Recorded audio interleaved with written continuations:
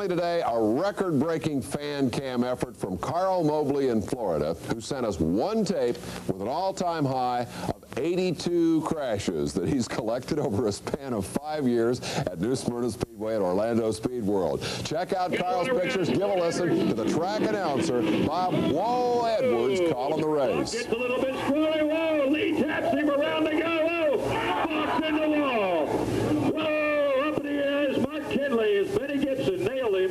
Harry Brazy is loose. Harry, oh, watch out. Oh, into the wall and over he goes. Whoa, whoa, right in driver's doors. Oh, watch out.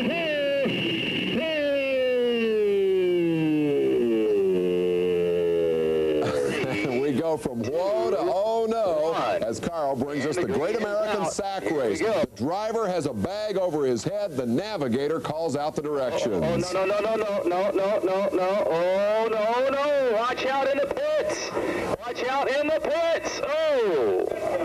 And now, one of the most spectacular sights in racing, a car going airborne. Carl got this sequence of Don Howard going on his head.